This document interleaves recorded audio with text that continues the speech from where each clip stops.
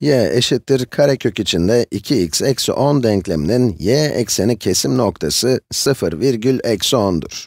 Aslına bakarsanız denkleme bakarak bunu kolaylıkla söyleyebiliriz. y ekseni kesim noktası, fonksiyonun y eksenini kestiği noktada oluşur ve bu noktada x koordinatı 0'dır. Kısacası y ekseni kesim noktasını bulmak için x yerine 0 koyup y'ye hesaplayabilirsiniz. Evet, x 0 olursa, denklemin bu kısmı da 0 olur. Ve geriye eksi 10 kalır. Aynen bize verilen bilgideki gibi. Devam ediyorum. x'i y cinsinden ifade ediniz. Evet, rahat rahat çalışabilmek için soruyu karalama ekranına kopyaladım. Bizden istenen bu denklemde x'i bulmamız, x'i bulmamız yani x'i y cinsinden ifade etmemiz. x'i y cinsinden ifade edebilmek için bu denklemi yeniden oluşturacağız. Önce şu denklemi şöyle buraya bir yazalım. y eşittir karekök içinde 2x eksi 10.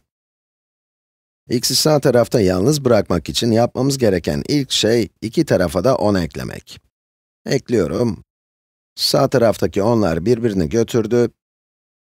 Sol tarafta y artı 10. Yukarıda kullandığım renkle devam edeyim. Böylelikle ne yaptığımı daha iyi takip edebileceksiniz.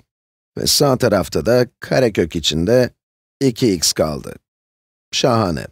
Devam edelim. x'i karekök içinden çıkarmak için ne yaparız? İki tarafında karesini alırız. Eşitliği korumak için bir tarafta yaptığımız işlemin aynısını diğer tarafta da yapmamız gerekir. Evet, bu küçük hatırlatmadan sonra, sol tarafta y artı 10'un karesi var. Sağ tarafta da karekök içinde 2x'in karesi, yani 2x. Ve son olarak iki tarafı da 2'ye bölersem işimiz bitecek. Ve buradan x'i y artı 10'un karesi bölü 2 olarak bulduk. Hemen bunu temize çekelim. Hatta soru ekranına yazalım. Daha iyi olur. x, y artı 10'un karesi bölü 2'ye eşit. Bakın buradakiyle az önce karalama ekranında bulduğumuz sonuç aynı. O halde doğru cevabı yazmışız. Şahane. Şimdi de denklemin x ekseni kesim noktasını bulmamız gerekiyor. Karalama ekranına geri dönelim. Bu eğri ya da denklemi böyle çizebiliriz.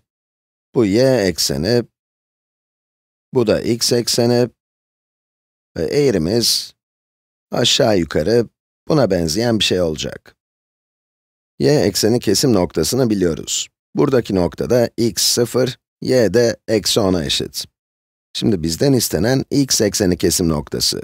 Yani buradaki nokta.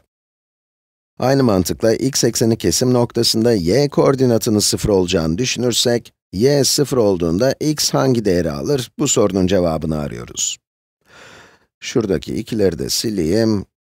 Kafamız karışmasın. y 0 iken x, 10'un karesi bölü 2'ye eşit olur. 0 artı 10, 10 eder. 10'un karesi 100, bölü 2, 50 x ekseni kesim noktasının koordinatları 50,0.